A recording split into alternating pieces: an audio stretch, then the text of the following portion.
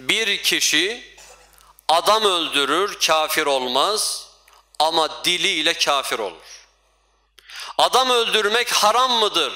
Büyük günahtır ve haramdır. Adamı çeker, vurur, öldürür. Ben ne yaptım diye o anda pişman olur. Büyük günah işlemiş olur. Karşıda onu izleyen bir kişi de kardeşim eline sağlık ne iyi yaptın ya bir adamı temizledin derse o insan kafir olur. Adam öldüren kafir olmaz. Dikkat buyurun. Ona ne iyi yaptın diyen kişi kafir olur. Bu sözlerimin başından beri ifade ettiğimin hepsinin üzerinde düşünmemiz gereken, geçtiğimiz tünelde kendimize ve imanımıza, ailemize dikkat etmemiz gereken bir iklimden geçiyoruz.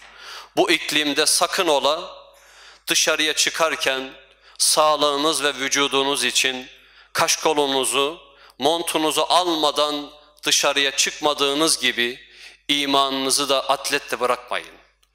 Atletle bırakırsanız imanınız üşütür, hasta olur ve ondan sonra yok olur gider. Allah muhafaza.